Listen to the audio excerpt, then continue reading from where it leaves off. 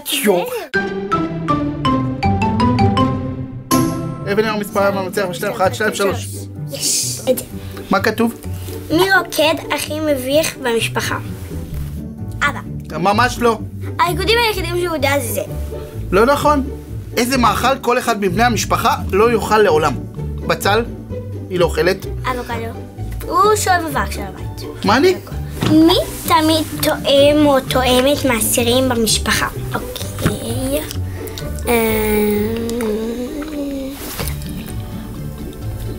אה, אתה תואם גם עכשיו?